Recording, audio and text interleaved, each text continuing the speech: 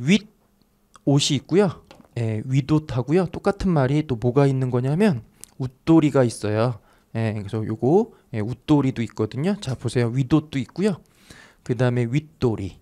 예, 이게 다 쓸 수 있는 말인데 이게 뭐냐면 위에 입는 옷, 예, 위에 입는 옷에 윗옷하고 윗돌이라는 말이 있는 거고요.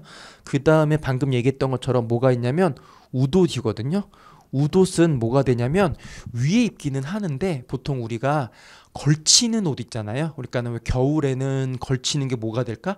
뭐 잠바나 점퍼 이런 거죠. 잠바나 점퍼, 코트 이런 게 이제 겨울에 웃옷이 되는 거고 한여름에도 에어컨 바람이 너무 세면 어떻게 해요? 뭐 얇은 바람막이라든가 아니면 셔츠 같은 거 하나 걸치죠. 그렇게 걸치는 옷이 뭐가 된다?